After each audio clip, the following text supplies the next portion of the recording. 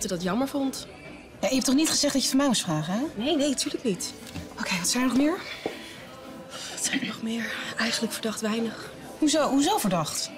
Hij zat de hele tijd te stralen. Geheimzinnig. Bijna arrogant. Zou het een BN'er zijn? Nee. Weet je wat wel kan? Dat hij doet alsof ze bestaat.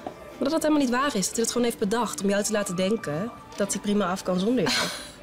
Zo doorzichtig? Hij is gewoon te trots, dat is het. Wat een kleuter is het toch? Ik ben gewoon te snel gegaan.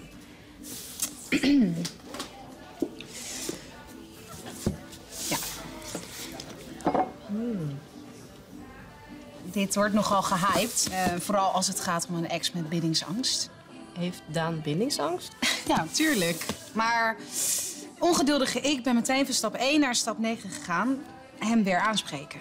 En wat had stap 2 moeten zijn?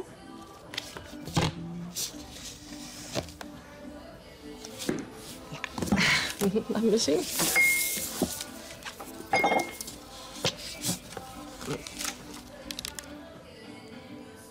Stap 2. Aan jezelf werken.